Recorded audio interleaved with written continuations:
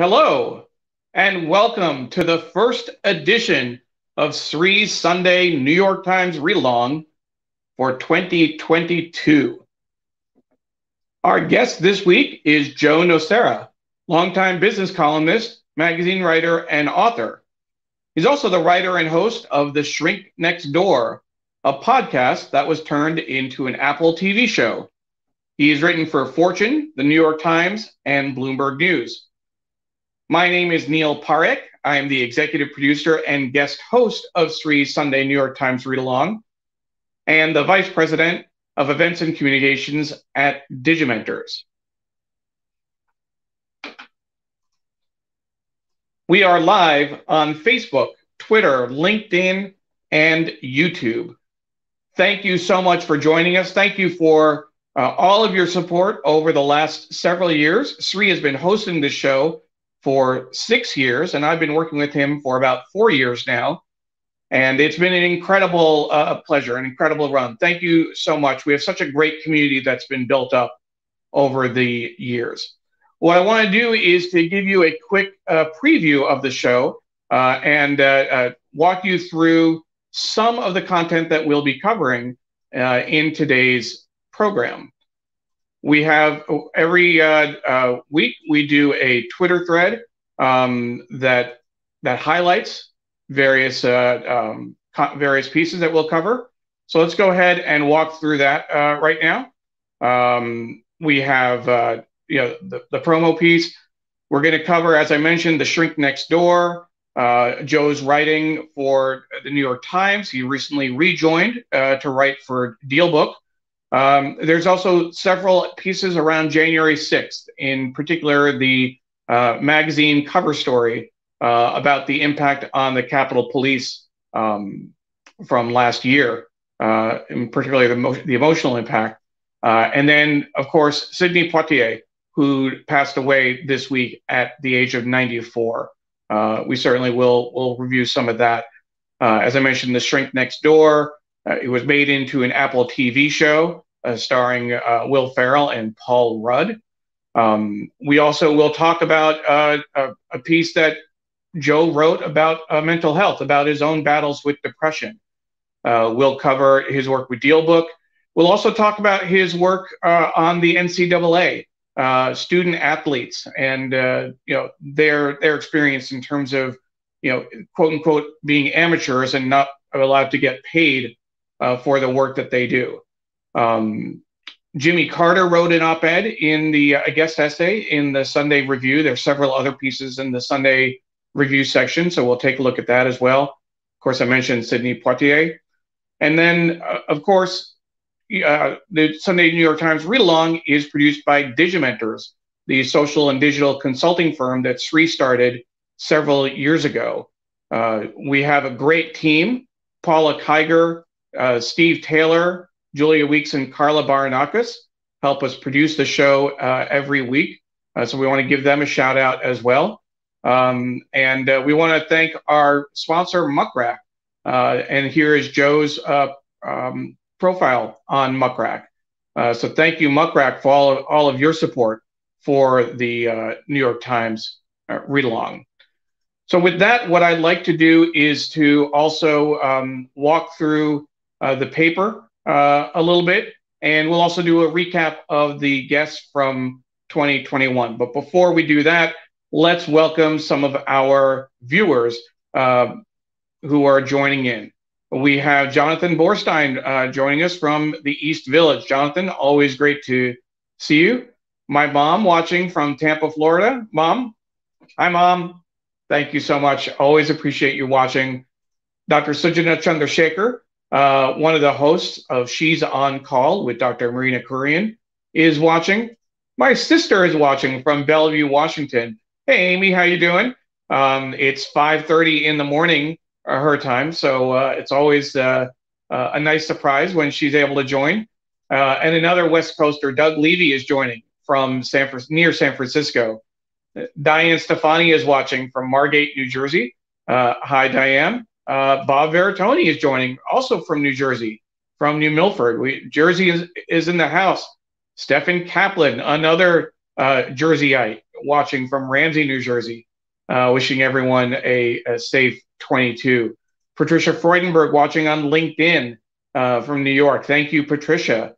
Um, we have Srinath Reddy watching, uh, saying hello. Uh, thank you, uh, Srinatha. Um, and we have Miriam Berkeley watching from Hell's Kitchen. Miriam, I have to say, your puddle pictures are great. Uh, watch her on social media. She does these great reflections uh, of the street uh, and and and buildings, etc. So check them out. Watching from Hell's Kitchen uh, in New York. Um, Samantha uh, Srinath Reddy is from uh, watching from Bengaluru. Natasha is watching from Puerto Rico. Natasha, thank you for joining us. I appreciate it. Susan is watching from Redding, Connecticut. Uh, Nikhil is watching from Florida. Um, and uh, Paula, one of our producers, agrees with uh, my comment about Miriam's uh, picks. They are definitely great. Um, she is uh, from Tallahassee. And another uh, uh, guest, visitor, Deanna, is watching from Hilton Head Island. So thank you so much.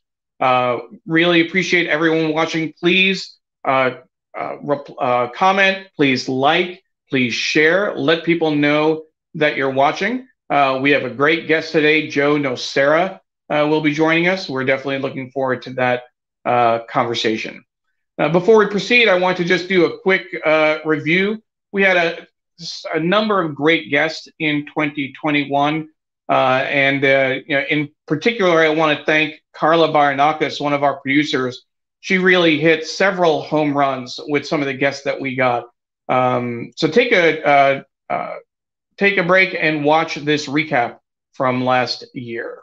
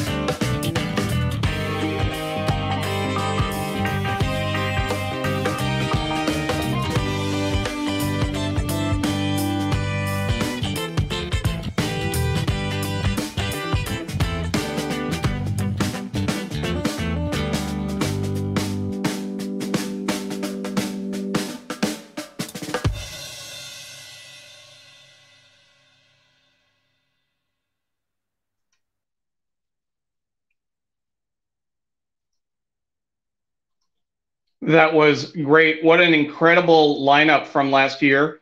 Uh, and again, we really appreciate all the work that goes into uh, putting this show together, in particular, booking such great guests. Um, so we really do uh, want to thank Carla um, for all of that work. In particular, uh, many of those uh, Pulitzer Prize winners, uh, longtime New York Times writers, uh, were personal friends of hers, colleagues of hers. So thank you, Carla, uh, for everything that you that you did. uh, Ken Fisher uh, is watching from Iowa. Thank you, uh, Ken. Uh, Ellen Austin is watching from the sunless Upper East Side. Um, and Patricia says, fantastic reflection on 2021. Thank you. Um, and Bob is asking for a Twitter list for all of our guests. Bob, absolutely. That's what one thing we're working on today is we'll set up a Twitter list. Um, and so we'll make sure to share that with folks uh, later. So thank you very much. So uh, with that, uh, let's go ahead and, and take a quick look at what's in the uh, uh, paper. Uh, and then we will um, get to Joe Nocera in just a moment. Um, so here is the paper. and what's interesting this week is this actually is an ad um, that was in the paper. It was wraparound, uh, you know, the whole thing. Chicken is broken. Um, so it's a, a full four page ad uh, about making chickens better by making it out of plants, which is interesting. Um, so a whole vegetarian um, thing. Daring.com is the website. So literally, when I got the paper this morning, it was a four page wrap around the whole thing we always like to pay attention to what's in the uh, ads. Um, excuse me, what are the specials in the paper? So in terms of, we'll just take a look at the front page, front pages before we bring on Joe. This is the uh, A1 section. The display story is about Russia and how uh, it's a really interesting graphic in terms of how they're effectively surrounding uh, Ukraine on three fronts, uh, getting ready for war. Um, what it looks like. The lead story is about Omicron, of course. Omicron's March imperils labor peace in schools. A lot of teachers are expressing concern about um, going back to school, about how uh, schools are handling, um, and and there's a huge backlash from parents. I'll tell you personally, we live here in uh, Fairfax County, Virginia, and um, this is one of the things that turned the election to the Republican Glenn Youngkin. Um, all of this effort, you know, keep uh, Fairfax schools open, um, we are firmly on the other side of that of that fence. Um, remote learning worked for us, not in the first you know uh, few months when they were trying to figure it out, but last year uh, our daughter Emily did well with remote learning, um, and uh, I'm gonna we're gonna put safety first, uh, both for our students and for uh, teachers. Um, other stories on the front page uh, about the New York City Police Department.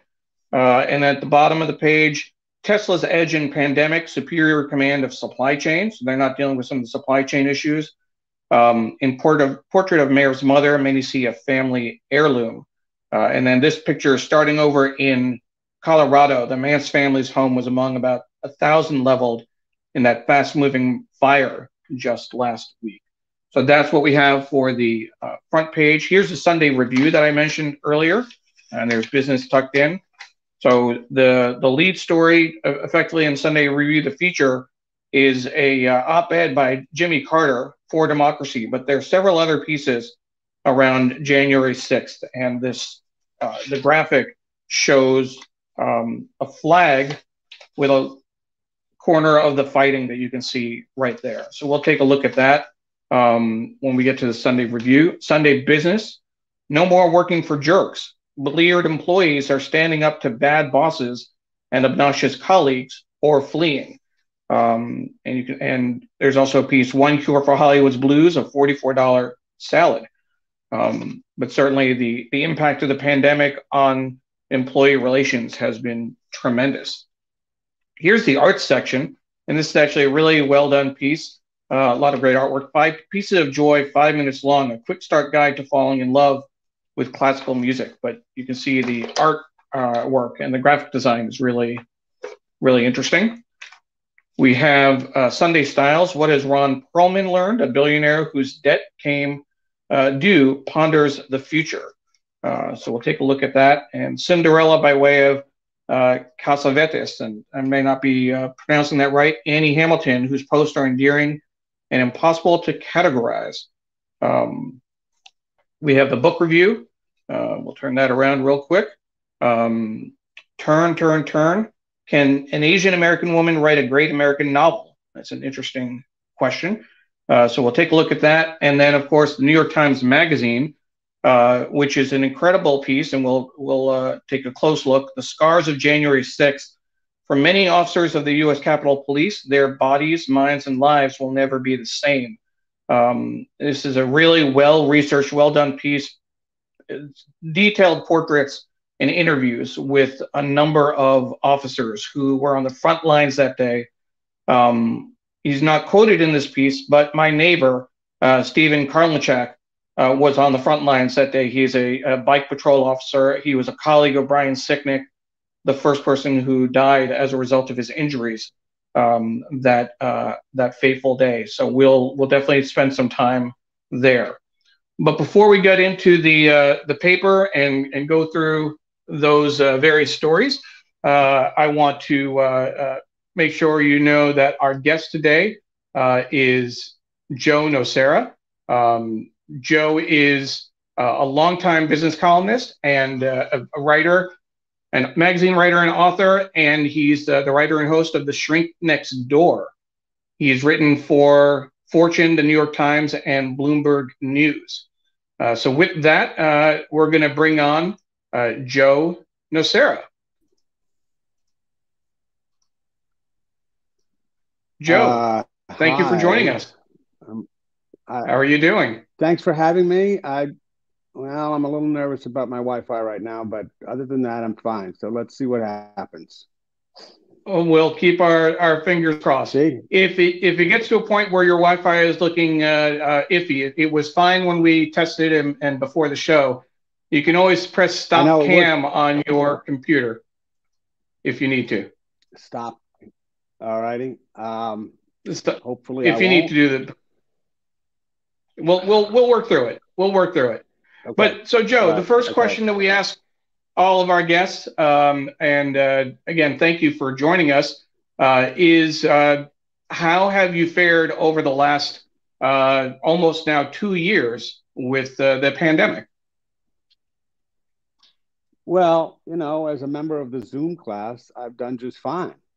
Um, we have a house out in Southampton, as people who've watched The Shrink Next Door well know, and and um, and I've spent most of I spent most of the pandemic there. I've, I've got a book contract uh, to write a book about COVID and the economy with my close friend and colleague Bethany McLean. Um, you know, uh, Neil, I, I, I, our child was in fourth grade public school in New York City and I found remote learning to be such a complete, utter, unmitigated disaster. Wow. That we put him in a private school that was committed to five days, you know, five understand that you know that's because i have a job i have money i have you know I, I i'm able to do that. And i fully understand that there are tons and tons and tons of people who weren't who weren't so lucky. No and you know we were actually in fairfax county uh, virginia um, one of the the most well resourced school districts uh, in the country. When we first shut down in uh, 2020 uh, in march that those first uh, three months at the end of the year, they couldn't shoot straight. They started and stopped three times uh, and finally gave up and just sent videos for kids to watch. Um, yeah. Over the in the fall, they actually were able to figure it out. Uh, and you know, I, I, think one of the things that we were also and and you had the resources to be able to put uh, uh, your child in private school our our resources really were, was my wife. She was at home with our daughter. Our daughter's in third grade. She was able to sit with her and help her, uh, you know, keep her on task, keep her, you know, paying attention, etc. Um, but for others that didn't have the resources, where their schools didn't have the resources, where parents didn't have the resources, absolutely, uh, much less uh, having to you know help when when families had multiple kids in school and parents both working from home or parents who had to go in if they were essential workers uh, certainly uh, certainly a challenge Um, well, I just want to say I don't want to. We don't want to spend a lot of time on this, but I could not disagree with you more about sure. whether schools should be open or closed. You were you were you became. I know you were a proponent of remote learning and be on the side That's of fine. safety, but but but the truth of the matter is, uh, study after study after study showed that students uh, were quite safe in schools, and the intransigence of the teachers union uh, it was infuriating to me because the harm that has been done to students who have missed that much school is irreparable. Not to mention depression, you know, suicidal ideation, um, uh, you know, abuse. I, I, just school school is the safest place for for most of the kids in public school, and they should have been in school. Fair point. I appreciate uh, some of those uh, points in particular. Um, so, but moving on on from there, uh, what I want to ask you about is over the course of the pandemic, uh, you had um, you you, were, you turned your uh, to to work. What were you focusing on over the last uh, year and a half? Um, well, you know, I, I I was hired as a you know my my life has been a business writer um, primarily, um, and um, I was hired by Bloomberg primarily to be a business writer, to be a business columnist. But you know, once you got into the pandemic, I, I think that kind of overwhelmed everybody and everything.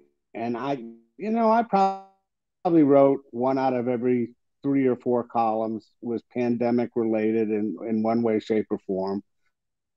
You know, one of the points I was trying to make early on, which got a whole lot of flack, was that um, that the pandemic uh, does not really care about whether you're in a blue state or a red state. And um, sure. that's what it does. Uh, all people who were condemning DeSantis were probably wrong, and all, all the people, all the people who were praising were probably wrong, because in the end, you know, the, the, the pandemic had its own rhyme and reason, and and and and it overwhelmed everybody's effort, no matter which which which way they went and and Omicron is certainly proving that now. Um, so so that's one of the things I wrote about, and then and then about I would say once again no, end of 2020, uh, Bethany and I decided we had written all the devil together, which is a book about the you know what led up to the financial crisis of 2008 and we thought that Mick offered a chance to do a similar kind of approach to what to why the country was un, so unprepared economically for the pandemic and why and, and then what was the result of COVID on the economy from from you know from Zoom to uh, uh, to restaurants. Got it. Got it. Um, and so one of the other projects that you were uh, involved with that really, you know, saw great uh, light over the last two years was uh, what started off as a, originally as a magazine article uh, with the New York Times, became That's a right. Uh, hit podcast right. and uh, and a TV show, yep. The Shrink Next Door, and we'll certainly want to give people at least a, a sense of what the podcast page uh, looks like. Uh, so you should definitely check this out if you haven't heard of the Shrink Next Door. Um, it's, uh, like I said, a successful uh, podcast. But tell us about how this story uh, came about. I'm on the right network. I don't know why this is happening. Anyway, the Shrink Next Door um, was a story about da da da da da a shrink next door. I, I, I moved into a place uh, in Southampton. Um, we all thought that the guy next door was a big shot a psychiatrist from New York City. We thought that this little guy who was around the grounds all the time was the caretaker. Um, uh, he, he invites me to a party. He invites my wife and I for a drink. We come back the next summer, and the shrink has disappeared. And the little guy in, in the little guy who we thought was the caretaker comes over to my house house, excuse me, with a woman that I'd never seen before. And he says, Joe, lucky to. So that caught my attention. Um, so I spent the next, uh, you know, in bits and pieces trying to put this together for the New York Times Magazine. Um, three days before publication. It was going to be on the cover. They had photographs taken, et cetera, et cetera. Uh, it was killed. I think I don't know why really, but uh, Jill Abramson and, and Hugo were at Lock and Hugo Lindgren, who was then the magazine editor at Loggerheads. And um, anyway, got killed. I put it in my bottom drawer, and then suddenly realized after I got to Bloomberg that you know this new thing called podcasting was happening, and maybe the Shrink Next Door might make a good podcast. And that's basically what happened. And then uh, after that, it got uh, turned into an Apple TV show starring Will Ferrell and Paul Rudd. Yeah, what was, was the impact? yeah, were you were you uh, uh, a producer on that? Did they uh, work with you closely, or? Nah, I had um, I had a couple of conversations with the screenwriting team, and um, actually, this was kind of exciting. Paul Rudd and Will Ferrell and Michael Showalter, the director, came to the Hamptons to have to spend a day with Marty and Phyllis. Um, Marty was the, the, the quote unquote Marty was the actual owner of the house and the mm-hmm. the so-called caretaker. And um, uh, so uh, my wife and I were invited to that lunch, so so they wanted to talk to us as well. But other than that, you you. you probably don't remember this, but uh, Michael Kinsley, uh, when he was editing the New Republic, used to have a great phrase sentence for the perfect kind of writer if you're an editor. He turns in his story and gets hit by a bus, and um, and that's kind of that's kind of what I was, and and that was fine. They bought it; they could do what they want with it. I wasn't, you know, they didn't send me scripts or anything. Um, they did actually at one point, but it was mostly just for my pleasure, not not to kibitz. So I stayed out of the way. I thought they did a really good job. I thought uh, Paul Rudd was a little nicer than the real Ike in real life, but but um, and I, I, think the show was not as dark as the podcast is. The podcast is a really it's a dark show, and um, um, but the, you know they had they had their own you know they had their own rationale for making decisions, and I can't argue with any of those. I enjoyed the show. That's that's great. Um, and so then, uh, in addition to the the shrink next door, uh, you've actually your your journey having written for Fortune, you were uh, writing for the New York Times for a number of years. Um, you you were on the uh, uh, business. You went to the opinion pages. You also wrote about sports for uh, quite a while. Uh, one of the issues that you really focused on was the NCAA uh, right. and this whole issue of of quote unquote uh, student athletes. Um, First talk to us about that a little bit. Yeah. First of all, let's not call them student athletes because that's a term of propaganda. That was a term of propaganda created in 1956 to avoid workers having to pay players workers' compensation. Mm-hmm. Um, but I got into it in 2010. Again, Hugo Lindgren um, at the magazine uh, gave me an assignment. He said, you know, if you were going to pay players, what would it look like? So that was the assignment. But what happened was, in reporting that, it was an eye-opening experience because although I was a lifelong sports fan, I never really thought about these issues before. And as I dove into it, I started to realize that these players were really being exploited um, in, a, in, a, in a really ugly way, and that they were they were not getting the education they were supposed to get. That their sports came first. That they were working 50 hours a week on the sport, and there, there was something just wrong. And and and and the NCAA had all these horrible rules and regulations that really kept them, as I put, as I said in, in, in a book that I wrote about it, indentured, kept them indentured. And um, uh, so I, I got, I got passionate about it. And um, I started writing about it once the magazine story came out. I started writing about it for the op ed page, which was a very uh, unusual thing for somebody to do on the op ed page. So much so that in the beginning, I used to get uh, emails from time to time saying, "Why are you doing this? If I want to, if I want to read sports, I'll go to the sports page. I, I don't come to op-ed to read about sports." And I would respond by saying, "I don't view this as a sports issue. I view this as a human rights issue and a civil rights issue because so many of these exploited players were African American." And um, eventually, you know, that kind of email stopped and gradually, much to my amazement, but also delight, you could you could see the culture sort of coming around to the point of view that I'd had, and and Taylor Branch in the Atlantic had had, and and Jay Bilas um, at ESPN had had, and and not a whole lot of others when I first started on this road, but by you know last year, um, Brett Kavanaugh and the Supreme Court wrote a a um, uh, a concurrent opinion about the NCAA that honestly could have been one of my columns.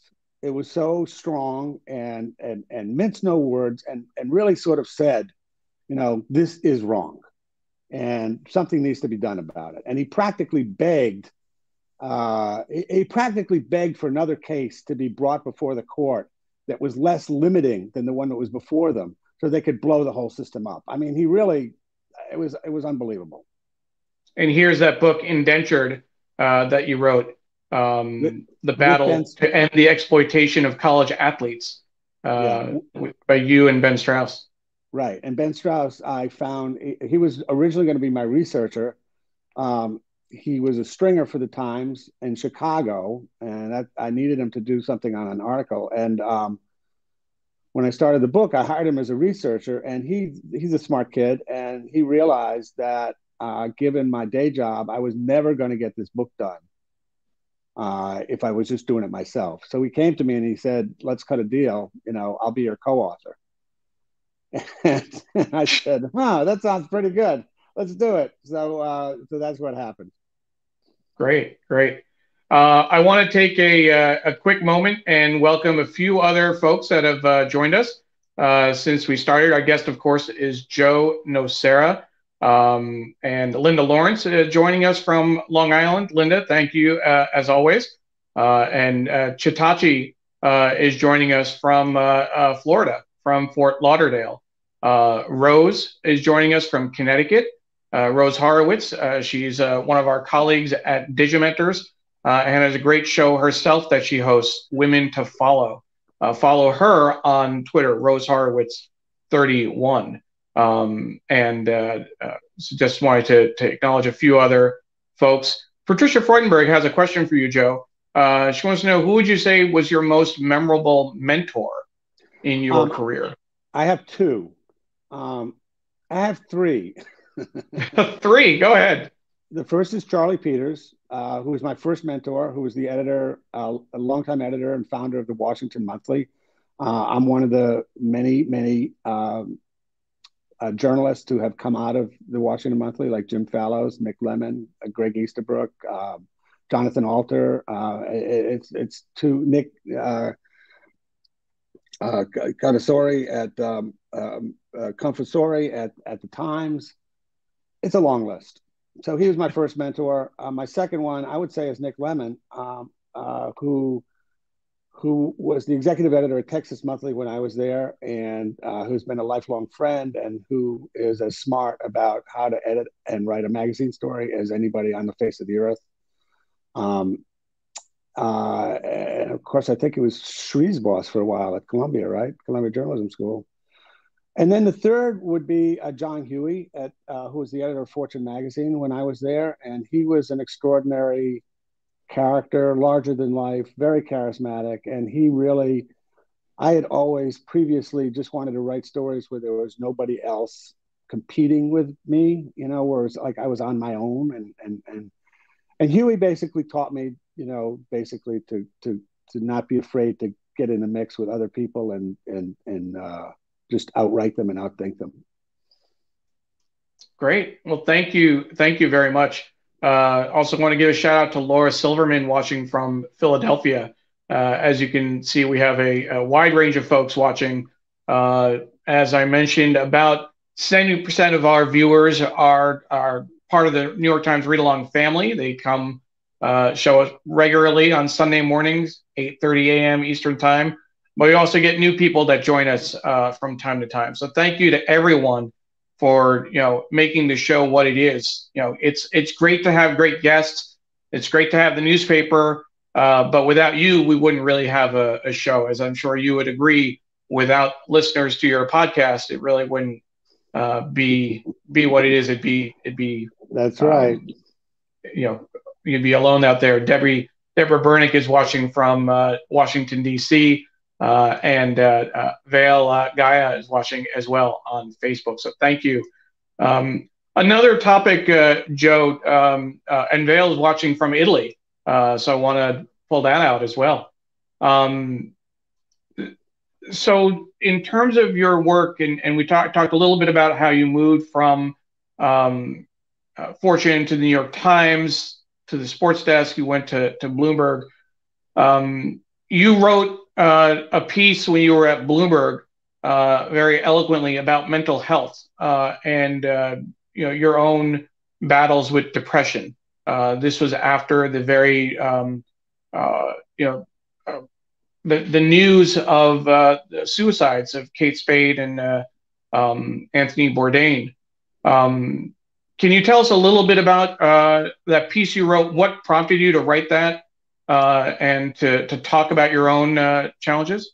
Yeah, well, um, I'm, I'm, a, I'm a pretty uh, avid Twitter follower, and uh, I've seen over the years uh, a handful of people coming out of the closet about depression you know, usually linked to an article they'd written or something. Um, and and it had been in the back of my mind that that you know this is something maybe I ought to do because you know I do believe it's a disease. It's not a it's not a character flaw, and um, uh, I I I I certainly want to. Uh, uh, demystify it and make it sort of something that's not to be ashamed about.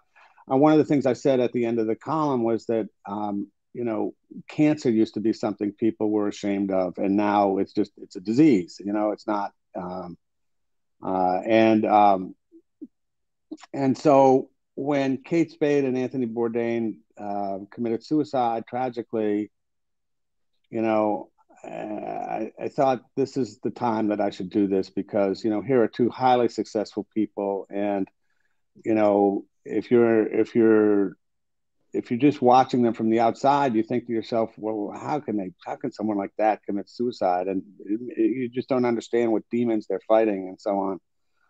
So I just thought, yeah, it's time. And, um, you know, as, as you didn't, you know, this, m- most of my, all of, all of my periods of depression re- took place while I was at the New York Times. And so, um, it was very uh, what's the right word uh, you know so so in describing what happened i had to also talk about you know what happened with me at the new york times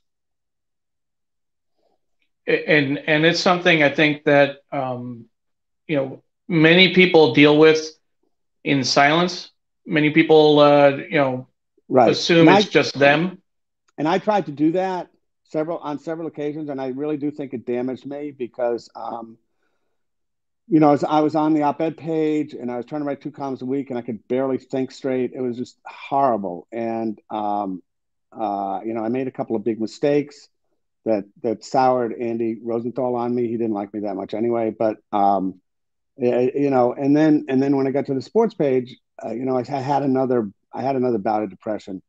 And Jason Stallman was the editor at the time, and and and he, I went and told him that I was depressed, and he was a little he was taken aback, and I first said, well, I want to keep working, I don't want to take a leave, and he realized a couple of within a couple of days that that was an untenable situation, that I was acting erratically and so on. So, you know, he sent me up to HR, and um, and I went on and I went on um, uh, sick leave, and I was really out for a long time, like six months until I got better and, and got on the right meds. And and let me just tell you one other thing quickly. Um, one of the good one of the good things about writing that story is that uh, over the course of the years since I wrote it, I I got calls from three or four times people who were suffering from depression themselves saying, "What should I do?"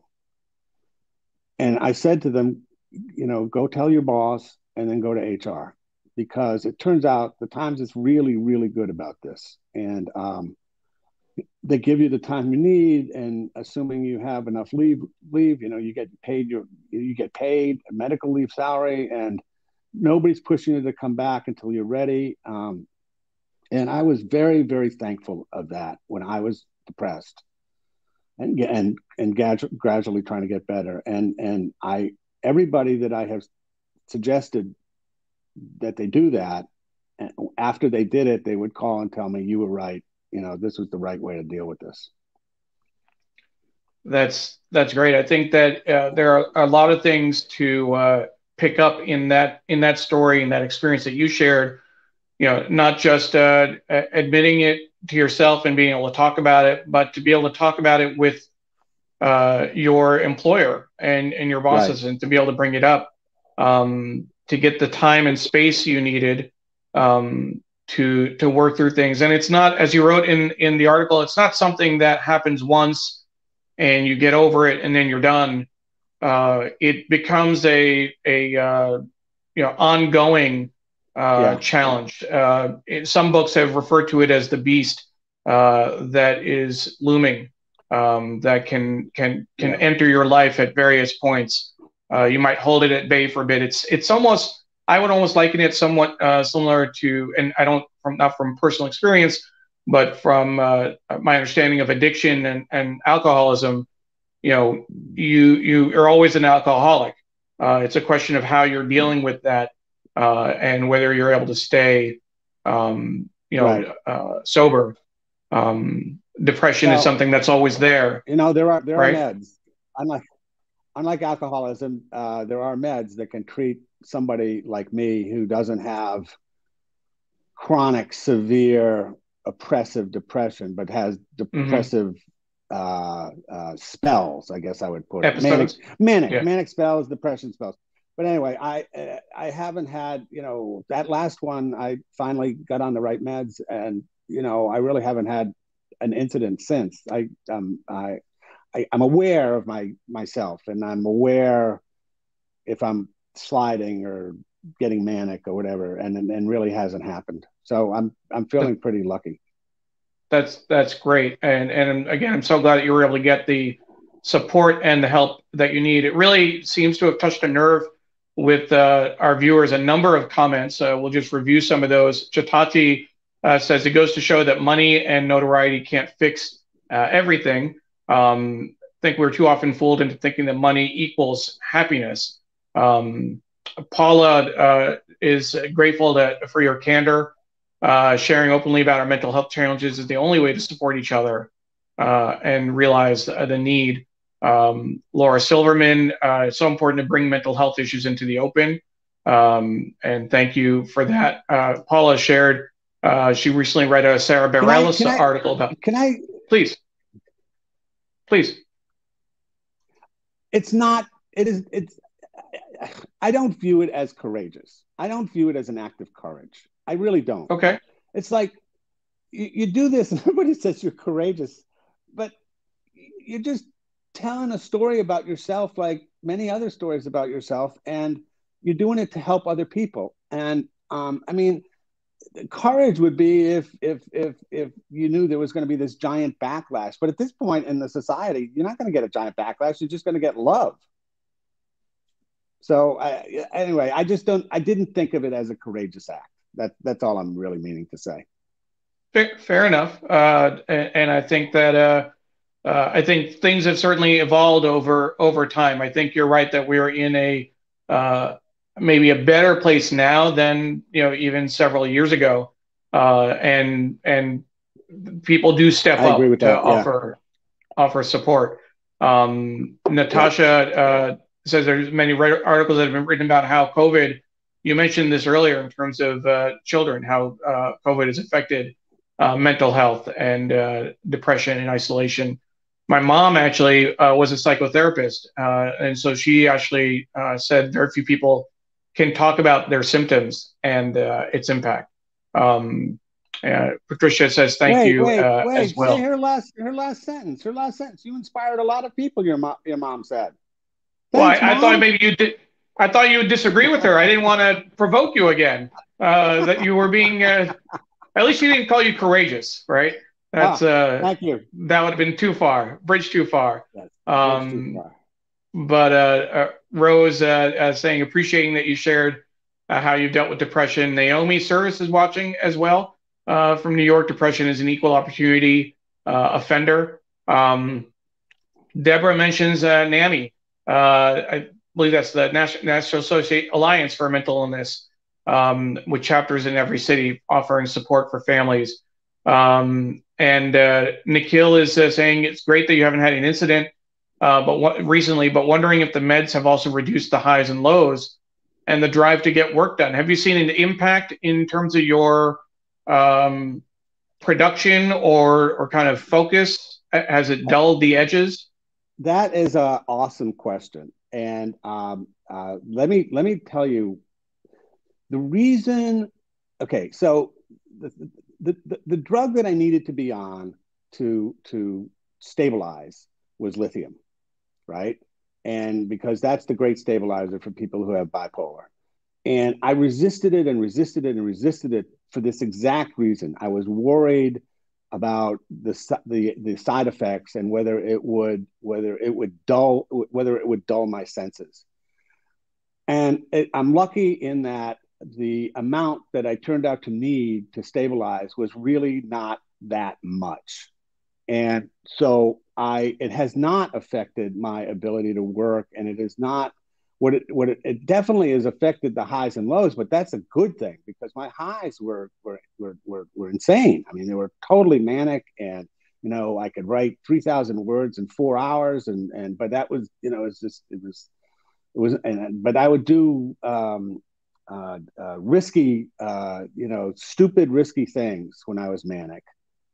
And then I would get depressed and could barely get out of bed. So, so, you know, reducing the highs and lows is a good thing, but it didn't affect, it does not affect my ability to work or think or, you know, anything like that. Great. Thank you. Uh, thank you for that. Uh, Carla, uh, Carla's contribution depression is often compared to diabetes in that medication can help manage it. Uh, and as Joe said, it's a disease, not a character flaw. Uh, abso- absolutely. Um, I will. Uh, I will say, and uh, and she also offers. Uh, you know, Paula uh, threw in the a link to NAMI if people are interested, and Carla also shares the resource for the National Suicide Prevention Hotline.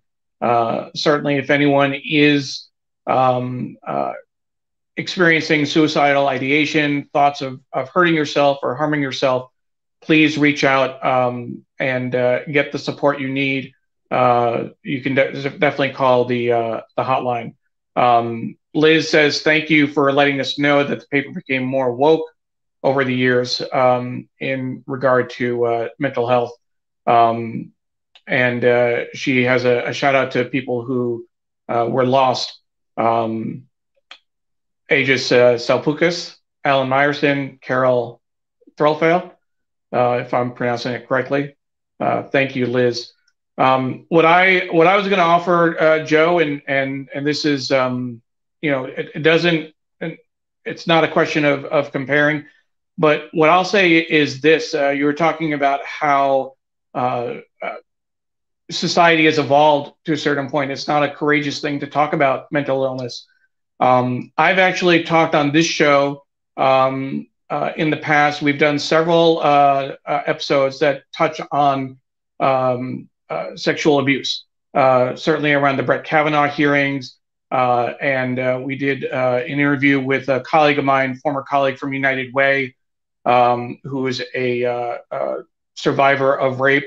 I've talked about my own experience being abused as a child by a neighbor. Um, and it was a very poignant uh, show. This is what I talk about the New York Times read along family. I, I felt this was a safe space for me to talk about that uh, that experience. What I've actually said to people, uh, and I, remember in particular one dinner that I had uh, with a friend, is that I was more comfortable talking about being abused and sharing that story than I was talking about mental illness about my own struggles with anxiety and depression. And so I'm doing that now for the first time that I also suffer not not manic in in the same way that you were describing, but I've had several uh, depressive episodes um, and uh, you know uh, at times severe anxiety. Um, it's not something I ever spoke about spoke to my employers about. Um, one things that I one of the things that I found is when I was working as a as a consultant on my own with large gaps of time where I wasn't didn't need to be anywhere. That's when when it would uh, take over uh, when I was left to my own devices. As my career has evolved, I've gotten busier. Even though I'm working as a consultant now, uh, effectively, I am so busy. I'm so, I'm engaged. I'm on so often. I don't have the space to to do that. Um, hmm. But I will I will say. I mean, I know you said it's not courageous. I'm I'm trying to uh, um, ride on your your coattails with that. Uh, it's not something that I've been comfortable talking about or sharing. That's interesting. Um, yeah. And yeah. Uh, and like I said, I, I remember a particular dinner where I was talking with people that I was comfortable. I said, you know, I'll talk about being sexually abused. I don't know that I can talk about seeing a therapist. I don't know that I could talk about having um, anxiety. Um, so thank you, Joe, for. All right. Well, thank you for your what you've done. Um, appreciate that. I appreciate that. All right. Um, so again, another uh, uh, great show. Uh, Robin Summers, thank you for talking about it. Um, and uh, um, Rose is thanking Paula for um, all the links. Chitachi uh, and Rose, uh, thank you. Appreciate uh, your support as well. Uh, and Laura, uh, and all three of them, I remember were watching that show that we did from my the house I grew up in in New York when we talked about my experience as a child. So with that, it's 9:22, uh, uh, and uh, we want to talk about the paper, and in particular, we want to get Joe's thoughts on the uh, uh, Sunday Review, the uh, opinion section that he wrote for for so long. Um, so with that, Joe, we'll turn our attention to the paper and um, see what's in store for today. Okay. So, of course, the first piece is the um, the New York Times Magazine article. Uh, that's what we left off with um, when we were re- reviewing the paper. Uh, but let's go ahead and bring the uh, front page section back. Um, see a pile of sections over there. Uh, and maybe after that, we'll get to the Sunday review. Um, so that well, let's, we will, um, uh, let me just say one quick thing about the magazine story. So I Please. haven't read it. I haven't read it yet, but um, uh, anything that Susan Dominus writes, I want to read. Uh, she's she's the most she's one of the most empathetic uh, journalists in America, and she writes beautifully. And um, Luke Broadwater is, of course, uh, the guy who did a lot of stuff around January 6th. He was there uh, and he did yes. a lot of stuff for the New Yorker, both on video and uh, and in print. So I think this has the potential to be an absolutely phenomenal article, and I it, really looking I'm really looking forward to reading it. It it is. I, I did. Uh, I had a chance to read through it. Um, and uh, yes, Luke Broadwater Broadwater was there. Uh, he co-wrote the piece with Susan. Uh, and in fact, uh, I've been in touch with Susan. We're hoping we'll, she'll be on the show at some point, uh, particularly if we time it with another uh, feature that she wrote. Um, it was it was very strong. As I mentioned earlier, my neighbor is a Capitol Hill police officer. Uh, and he was on he's on the bike patrol along with Brian Sicknick, who died of his uh, injuries yeah. just shortly after. So it's very real and very um, poignant. And and the profiles that she writes of the various officers, their experience that day, their experience in the uh, um, days after, uh, months after, is really incredible. Uh, so certainly, I want to encourage folks to take a look at that that piece. Why don't we go ahead? This is a great picture um, of uh, Sergeant uh, Gonell um, uh, in physical therapy, uh, right on the inside. Um, and then the story itself, um, just to take a look the way that it's laid out and uh, you know the scars of January 6th for many officers of the U.S. Capitol Police, their bodies, minds, and lives will never be the same. Um, photographs for, by Philip Montgomery as well. Photographs were really great uh, as well. This is a um, portrait of Caroline Edwards, one of the officers attacked that day. Um, Daniel uh, De- Devin Gowdy, another officer. Dominic uh, uh, Tricoche. Uh, the full quote I was so destitute that it didn't matter. I was feeling nothing. Um, this is the California fire story. This is the California fires. Um, another wonderful writer, uh, really uh, one of the stars of the Times now, young stars, is uh, Jay Caspian Kang. And he has an article uh, in the magazine called The Boy King of YouTube. And it's about the Boy King of YouTube. I saw that headline. Yeah. So there's another story I want to read. Again, not so much because I care about the subject, but because I care about the writer. Um, you know, maybe this is something that only other I, I you know, bylines mean a lot to me. Um, they, I make a lot of decisions on what to read and what not to read based on bylines. Uh, I, I, know that probably most readers don't do that, but I but I certainly do. And um, you know, Jay Caspian Kang has also written some really excellent uh, op-ed pieces. He's got a really interesting job as a as a quasi op-eder and a quasi magazine writer. This is it's in, in interesting in terms of the way they did the the layout and the graphic design on this. Ten uh, year old Ryan uh, Kaji and his family have turned videos of him playing with toys into a multi million dollar empire. Uh, the player. Why do so many other kids want to watch? Uh, and by Jay Caspian King, photographs by Ilona uh, Suara. Right. Um, yeah. So, so, so, that layout. So there's one thing about that layout that sort of drives me crazy about the Times Magazine generally, which is the type is so goddamn small. Mm. Uh, in in this uh, in this page. On the, the left hand page, yeah, and they yeah. often do that on the co- uh, they often do that on the cover too. Just the type is so small you can barely read it. Small font, and um, I mean, unlike this, right? I mean, this is unlike that, which is Gail, which is great. Yeah, Gail Bichler, if she watches this, she'll kill me. But that, I, sorry, Gail.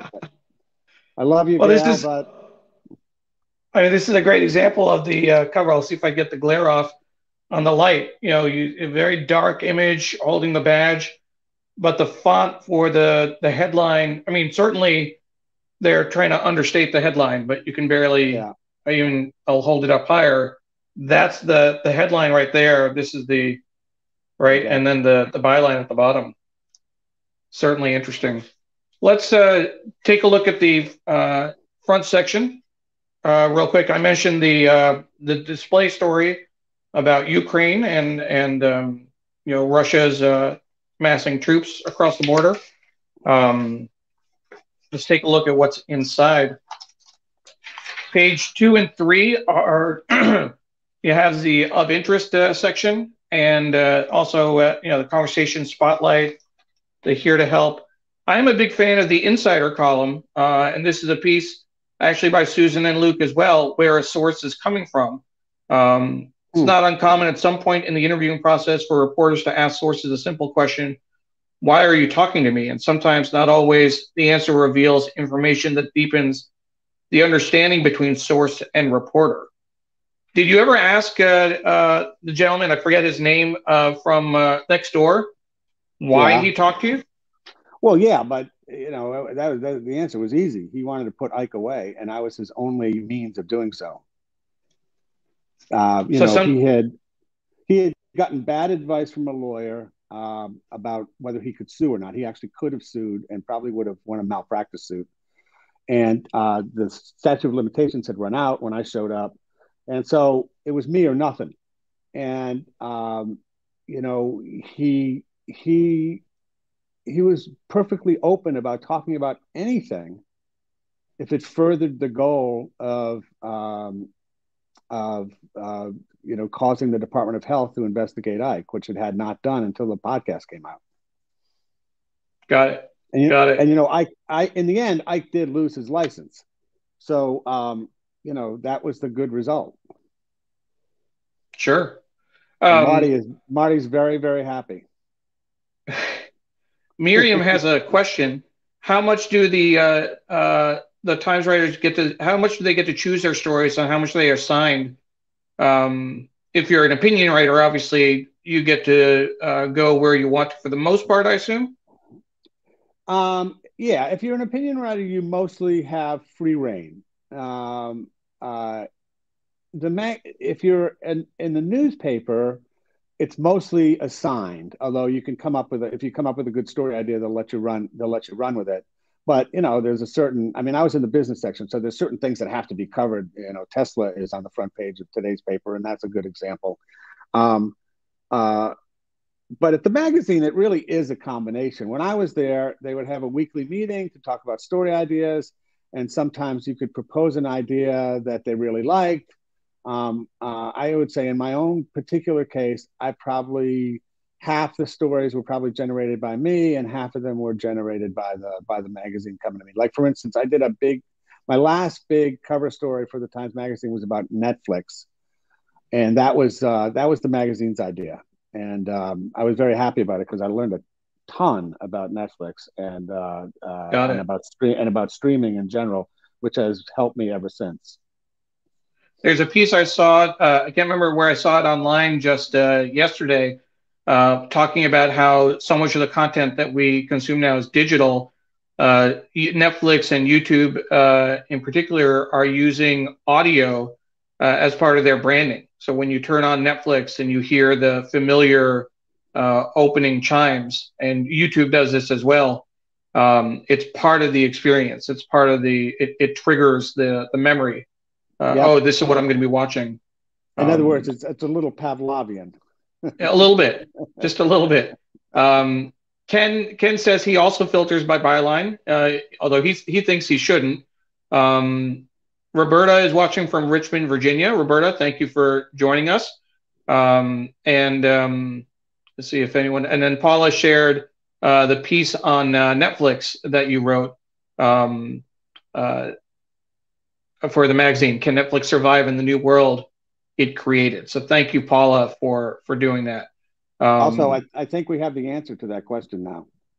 Well, yeah, right. Um, yes. Although it is it is interesting to see how much competition there has, uh, and how yeah. the streaming services has has definitely now you have to have, you know, three or four streaming services if you want to get the right combination of uh, shows uh, yes. between Paramount and uh, Peacock and Hulu and you know right. Amazon, um, Apple um, uh, Plus, of course.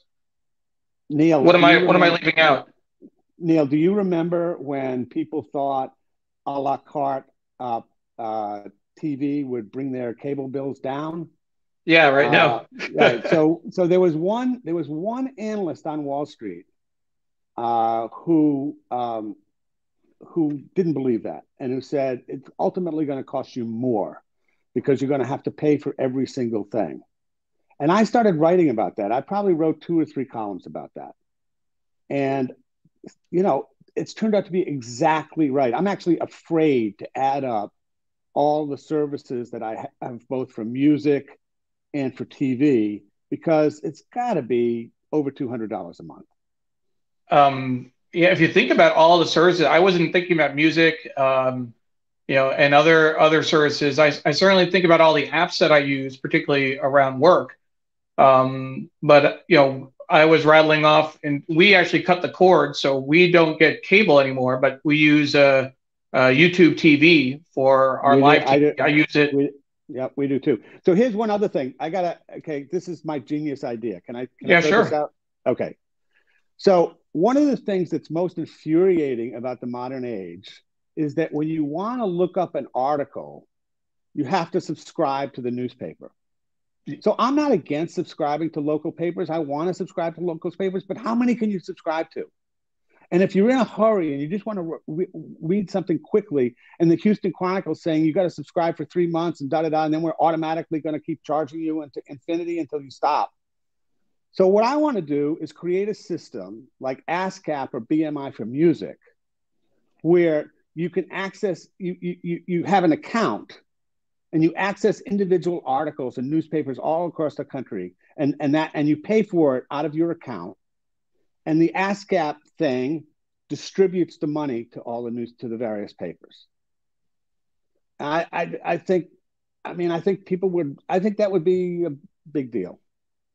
I, I think that would be interesting. I I'd be curious about the math in terms of uh, you know uh, uh, if you're paying per article uh, I wonder if it'd be similar to the streaming sources. Would you end up paying more than you do now, uh, subscribing to one or two? Well, maybe it's because I'm a journalist, but you know, in the course of a month, I'm probably asked to subscribe to 40 different publications. Sure. Sure. I can't do that. I can't do that. So then a, lot of times I think, well, I can't, I'm, I'm just not going to be able to read that article. I, I have to give up. Well, and, that's um, what, yeah. And if you charge, I mean, I, I, mean, I would be willing to pay like a quarter. I'd be willing to pay 50 cents for an article that I wanted. You know, it doesn't have to sure. be pennies the way it is at Spotify. Sure. Um, anyway, I, I, I've always thought that this was an idea that, that could really be a difference maker. But of course, I'm not an entrepreneur and I'm never going to be an entrepreneur. And I've mentioned this to people like uh, Merrill Brown, who is an entrepreneur, a media entrepreneur, and he kind of scoffs at the idea. So, um, anyway, it's just I, I, maybe somebody's listening to this who says, "Huh, I can do that," and go out and raise money and make it happen. You, you might be onto something. Uh, Chitachi thinks that'd be quite a model. Uh, wondering whether individual newspapers would be receptive to that, uh, whether they would uh, they sign on. To, right. They would have to figure out the economics. And the way you would figure out the economics is you'd have to figure out how many how many rejections are you getting? How many people are coming to your site, bouncing, yeah, seeing the thing and saying, "No, I'm not going to do that." And I yeah. think if it, I think if the number was high enough, like the Boston Globe, for instance, the Boston Globe sports page. You know, how many people want to read a Dan Shaughnessy article after the Red Sox beat the Yankees Oh, and, when um, when did that happen last? I can't remember. Well, I just remember right? 2004. 2004. Oh yeah, one year. Okay, I'll give you one year. 27 championships for the Yankees. I'll take that. Sure. um, but anyway, how many? Uh, you know, the Boston Globe sports page, sports page was and remains one of the great sports pages in the U.S. But I'm not going to subscribe to the Boston Globe just to read, you know, two articles a month, two columns a month by Dan Shaughnessy. I'm just not going to do it. Sure, sure. Go Yankees, of course. Um, but uh, but Chitachi uh, had that. Karen actually says Karen Arena is watching. Uh, she says it exists uh, somewhat in with Nickel Pass. Are you familiar with Nickel Pass? I'm not, but I'm going to go look it up as soon as we get off the air. We're going to want to look into that. Uh, Ken Fisher has the same uh, challenge that you do, uh, yeah. so he uh, agrees, and and Carla thinks that that would work um, ASCAP uh, style way of paying uh, for journalism. Um, Miriam I mean, says, I think, yeah. I mean, if it works for music, it ought to work for articles. You know? Sure. Um, Miriam says that the dilemma the media has to earn enough money to exist. Uh, but if an article or program is really important, people should be able to access it without being dependent on money. Um, nickelpass.com is the website, easy enough to to find. All right. Um, check it out, Karen. Thank maybe you. interview the uh, founder. Um, right. And uh, Roberta says that uh, the founder of Waze, uh, Noam Bardin, is doing something um, similar, uh, maybe. So I want to check that out. All right. Uh, the New York Times is part of Nickel Pass, so that's that's good. Um, and um, all right, I am 100 percent I'm 100% going to look at Nickel Pass, and if it does what you says it is, maybe I'll see if I can get Sorkin to to let me run a column about it on in DealBook. That would be great. That would be great. And you can let them know that you heard about it on Sree's Sunday New York Times read along. There you go. There you what go. do you think? Um, I love it.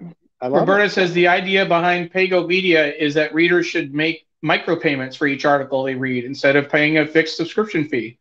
So look at Paygo as well. Maybe there okay. there are a few few options to to check out over there.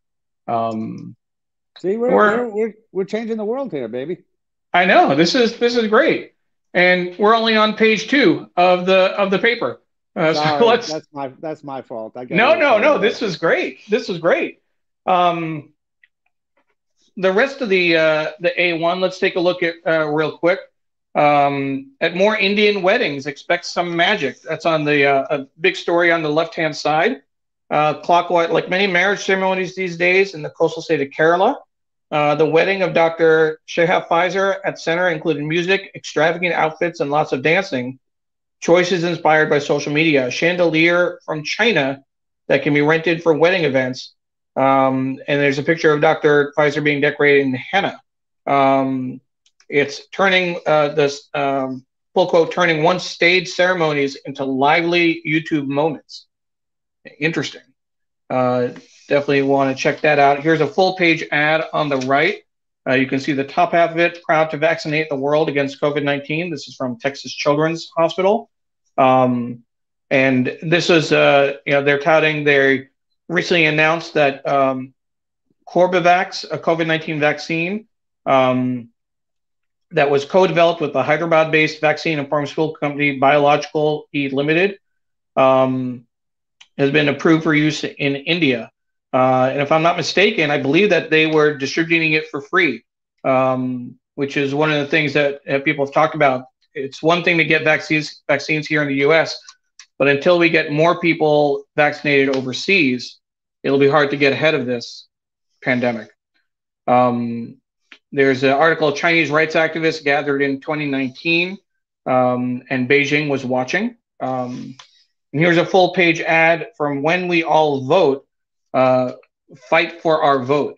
Um, and this is certainly uh, about January 6th. Um, signed by Michelle Obama, founder of When We All Vote. So that's something certainly worth looking into. Um, this is a continuation of the piece on Ukraine um, on the left hand side, a full page on the left. And then this uh, story about uh, Novak uh, Djokovic, uh, his detention uh, going to the Australian Open. Um, what seemed interesting, it, it, from what I gathered, he had a waiver uh, for because he's not vaccinated, um, but he didn't have the right visa, and he ran afoul of uh, their immigration uh, laws. Your take on uh, the Joker? I'm sorry. Oh, I think I didn't realize that we'd. Uh, we'll we'll wait. Joe is uh, logging back on. There we go. Yep, Joe? I'm back. Yep, I had that, a little little Wi-Fi trouble. No worries. Uh, I was just asking you about your take on Novak uh, Djokovic. Um, um, you know, uh, his, my take is, of course, he should get kicked out of the country. but um, the thing that people, the thing that the, the sports journalists haven't really focused on um, is that so much of this reaction to him by the government is being driven by the fact that the no country has been more locked down crazy than Australia. And people have just spent a long, long time in their homes, um, unable to do anything except go to the grocery store. And so the fury, the fury of the populace, um, knowing that that Djokovic had had had uh, kind of squeezed his way in uh, uh, with this exception exemption, just just just drove. I mean, it just drove people crazy and um, and and that's why the government reacted the way it did. And and the chances of him playing in the Australian Open is pretty much zero. Um, uh, and, and, you know he's going to have the same problem in France, and he's going to have the same problem in London, but he, of course he won't have it in the U.S. Do you think the, the, some of it was more? Uh, so I, I'd mentioned my my reading. I, I thought I saw something. There was a problem with his visa where he got an exemption for for the Australian Open, but didn't have the right visa Do you think it was more a you know uh, a change of heart where they realized this was a mistake to give him an exemption and they pulled the plug? Well, I do think it sounds like the Australian Open made a mistake by giving the, him the exemption for the tournament without going to the government and making sure it was okay for the government. Exactly. Uh, so, you know, um, I don't think there was a mistake in the visa. I just think he came and the government said, you know, you you haven't followed the rules for us, and um, uh, you know he's well known as a as an anti-vaxer, and so people knew he was going to come unvaccinated, and um, uh, uh, uh so uh, you know maybe if people had didn't care, had wanted him come, or it hadn't been a big deal, they would have let him in but you know there was no way it was going to happen. Correct. Correct. So let's see what else do we have. Uh, we'll get through uh, the front page section. Um, we have uh, facing turmoil. The Kazakh president uh, chose his path, embraced Russia. That's on the left hand side. Uh, this piece on the right is about the uh, Colorado wildfire uh, evacuees. Little is left but loved ones. Uh, they've gone through a lot uh, in Colorado. Incredible uh, between the fires and the snow, several uh, mass shootings. Um, for low income families, crowding under one roof is not a choice. Uh, poor households often pay more than half of their income in rent. I remember reading at one point that it was, you know, if you're paying a third of your income in for housing, that's about the right um, percentage. Um, and uh, there was a comment. Ellen had said the government had said no, but the tournament said yes. That was uh, part of the that was the the problem um, with uh, Novak Djokovic. Um, there's that like, article about. Do you like tennis, Neil? Uh, casually, not particularly. Yeah. I okay. Well, Novak is a is a amazing, amazing, amazing player. he certainly he is. is. I mean, he's up there with with Rafa Nadal and and Federer. Uh, yep. But as a human being, there's a lot uh, left to be desired. Um, yeah, you, you know, know, and somebody said. I mean, the Times actually wrote a story that more or less said uh, his quirks used to be, you know, something people just rolled their eyes about, um, especially his quirks around health. But now with the pandemic, they're they're suddenly super serious, and nobody's laughing anymore. Well, it was also his his views on on uh, um, women players and how they were getting paid as well, and he he tried to start his own uh, tour, right? Yeah, but see, this is the good side of him. Actually, Djokovic is leading a movement to ensure that the lower ranked players make more money. The bottom line in, in tennis, if you're the if you're the hundredth best basketball player, you're making millions and millions of dollars. If mm-hmm. you're the hundredth best tennis player, you lose money with every tournament. I mean, you just can't make a living. So Djokovic was re- is actually trying to get more money for those players so that they can make a living and and, and help the tour. And uh, sadly, Federer and Nadal are against it. I don't know how this is going to turn out. But um, it, it's uh, it's another good issue for DealBook, isn't it? Hmm. Yeah, and again, another uh, quasi uh, hat tip for the read along came up with a story in a conversation on Sree Sunday New York Times read along. I can see a little, you know, a little uh, at the yes. bottom of your piece, maybe. Uh, just yes, that's right. uh, it's nine uh, uh, 47, I want to uh, pull out the review section. Um, yes. As I mentioned earlier, there's several pieces um, related to January 6th uh, in this week's uh, Sunday review. Um, and in general, I want to ask you about the, the review. Um, you know, we have a piece by uh, Farhad um, Manjoo, Mastering the Art of Relaxation. Uh, and uh, the CDC is leaving you on your own um, by Zeynep. Uh, uh, I'm not sure how to pronounce her last uh, last name. Uh, Tufekci. Um, and then uh, this this middle piece, the centerfold, which is great, an assault on the truth. Um, this opinion by Rebecca Solnit, a historian and activist, and the author of um, Orwell's Roses, a campaign of lies has revealed just how gullible Americans are um, this is the piece by Jimmy Carter in the bottom corner, um, just to show you where it's situated. Um, America's democracy is in danger in the bottom left. Uh, but that center picture, What the World Saw That Day by Francis Fukuyama. Um, and then How Will History Remember by John uh, Grinspan and Peter Manseau. Um, the lens of history often distorts the past, imbuing it with nostalgia. What can you tell us about uh, the review section? What are your thoughts on that? Well, I I haven't read the paper paper, the dead tree paper, in years, and um, as a result, if you don't, if you only look online, you don't even know that there is a review section, pretty much, because if you go to opinion, you know, you just get you just get the stories, you just get the columns. Um, so, you know, I now see okay stop right there now to me the most interesting story in in the section is the black utopia by brent correct Correct. It's it's a wonderful piece. It's a wonderful about, piece about Seneca Village. Right, and and what makes it wonderful is it it, it you don't expect it. it. It's out of the blue, and you know the like then Maureen's column on the right hand side. You know, okay, yeah, yeah, yeah, yeah. Trump coup, blah blah blah blah blah. What? Tell me what? Tell me what's in there that I didn't know. Oh, I've just I've just shot myself in the head, haven't I?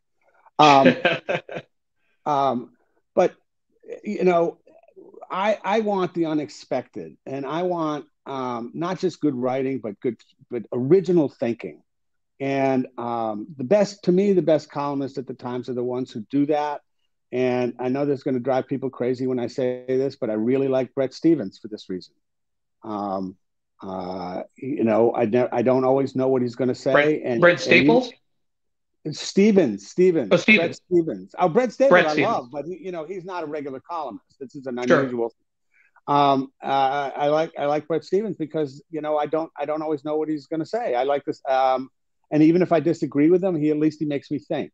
And and you go on the Twitter sphere, and, and they're all like, oh yeah, he's just another tool of the right, blah blah blah. Well, I don't I don't you know forget it. You know that's that's that's a large part of the problem with society generally is that it's not willing to listen to anybody on the other side. Um, and one of the things I tried to do when I was a col- columnist was was um, write about things that other people weren't writing about, and and and and give people a different different take than they were than they were than they normally got. And um, you know, sometimes that was accepted, and sometimes it wasn't. But um, th- but that's the way I think about this. Now the the the, the, the January 6 pieces I have not read yet. Um, mm-hmm.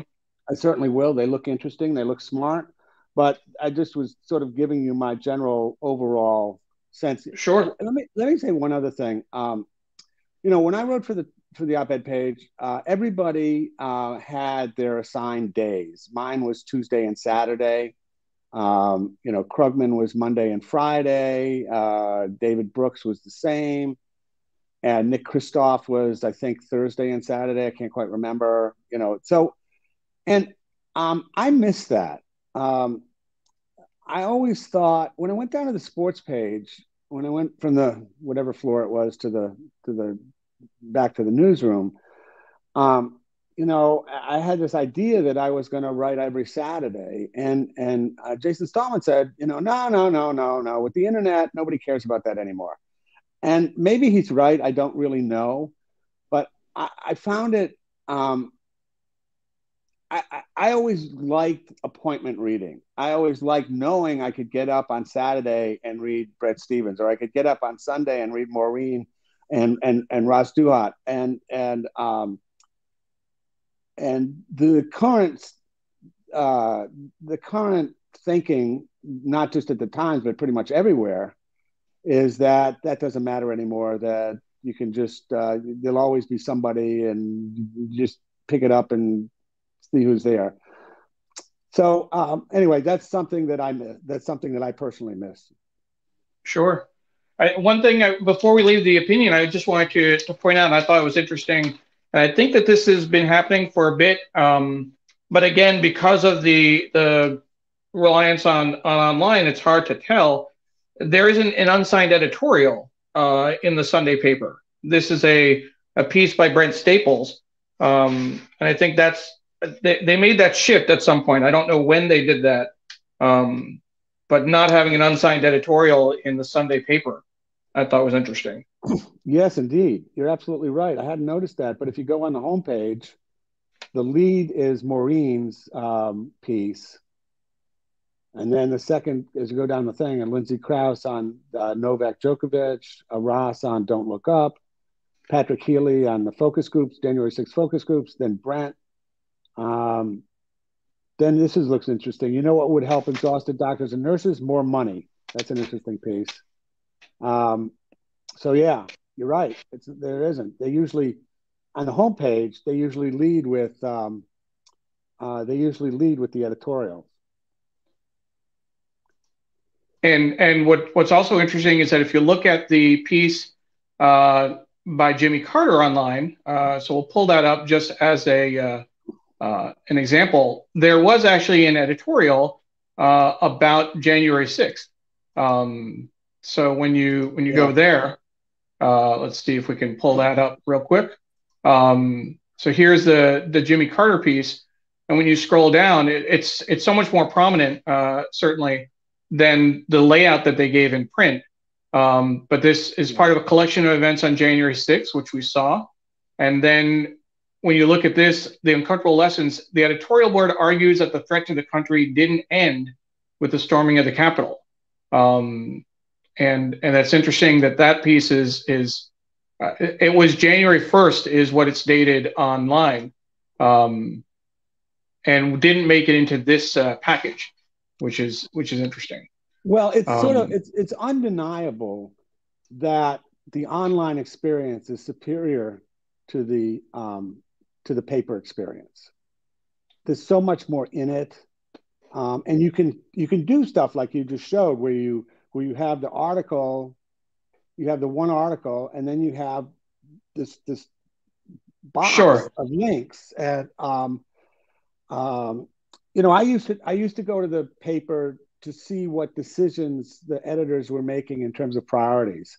And I don't mm-hmm. do that any, I don't do that anymore. I just feel like you're getting you're getting you're getting that online now. You're getting what what the priorities are. And there's so much more on the homepage than there is on a front page that you can really understand what the paper is all about that day just by looking at the homepage.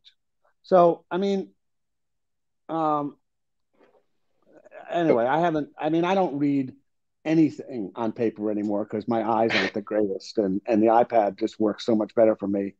If somebody sends me a book, I'll actually download it from, from Kindle and read it that way.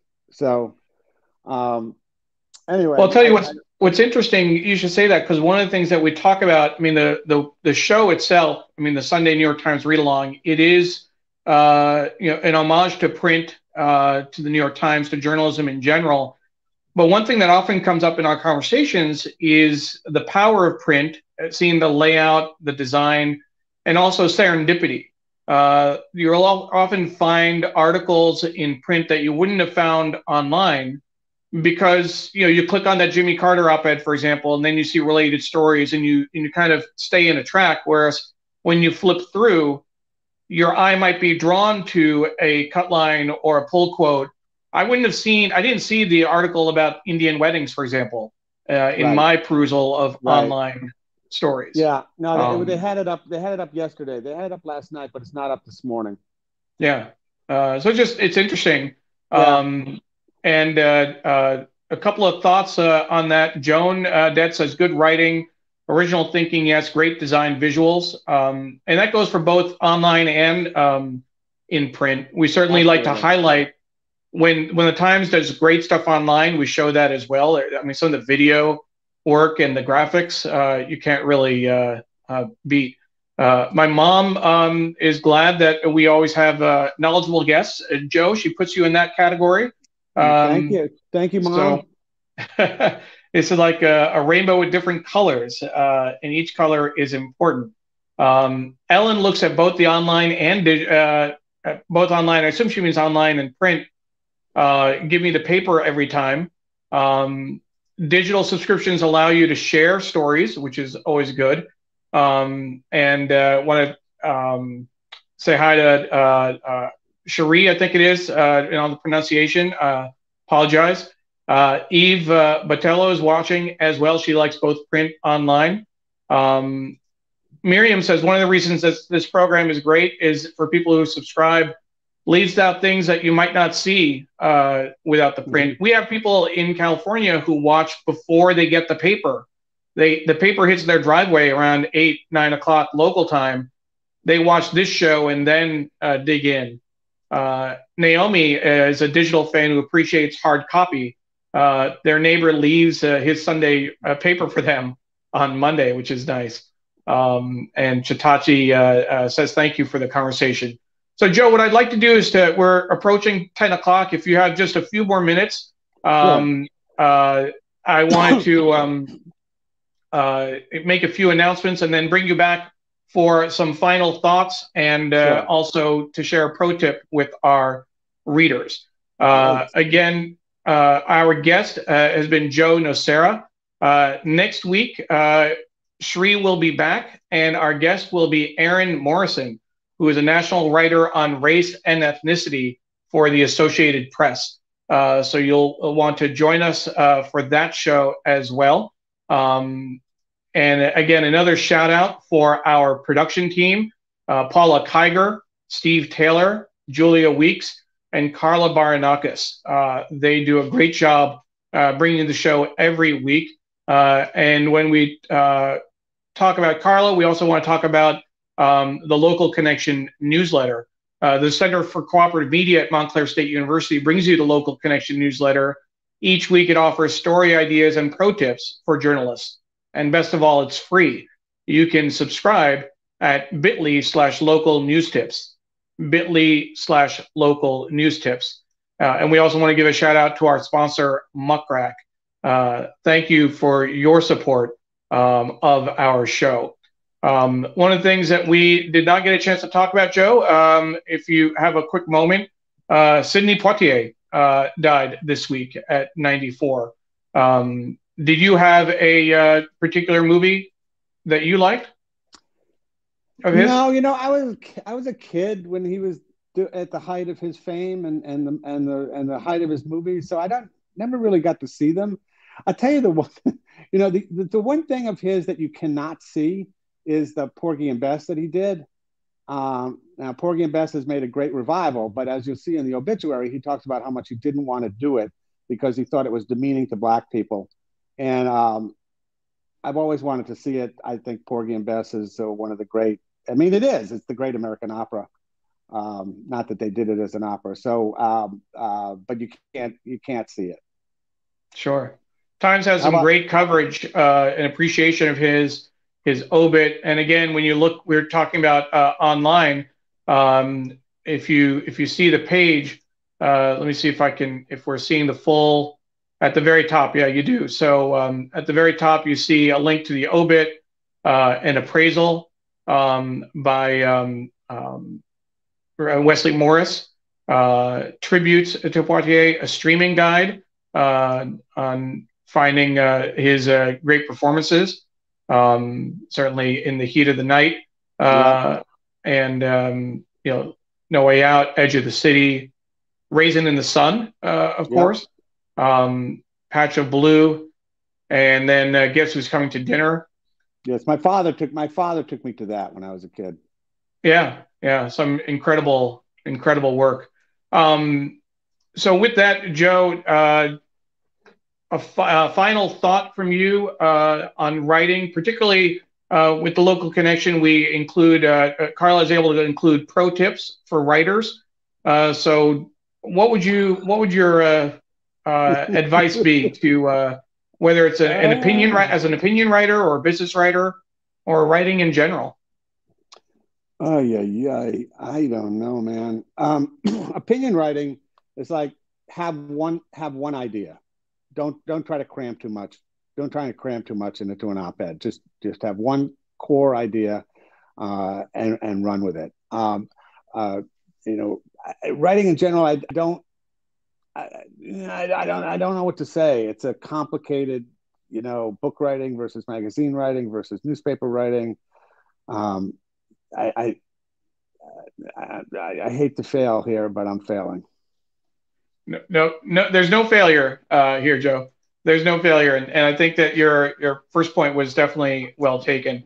Um, a, a, final thought, just in terms of uh, you know your work. What what's next for you? What do you see uh, working on over the next uh, several years?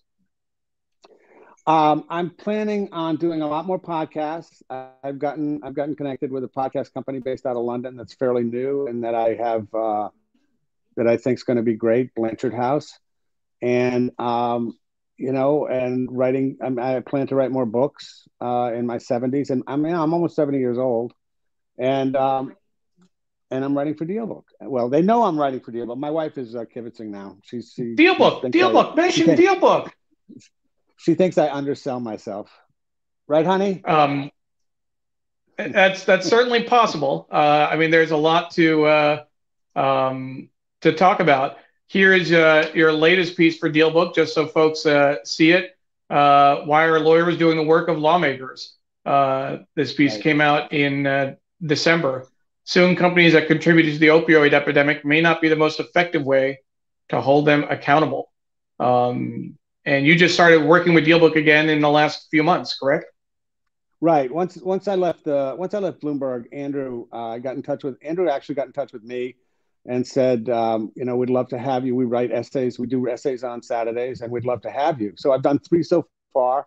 I'm going to try to do one a month for the foreseeable future, and you know, once the book is done, maybe even more. So I'm I'm I'm super excited about it. I'm really glad to be back in the Times.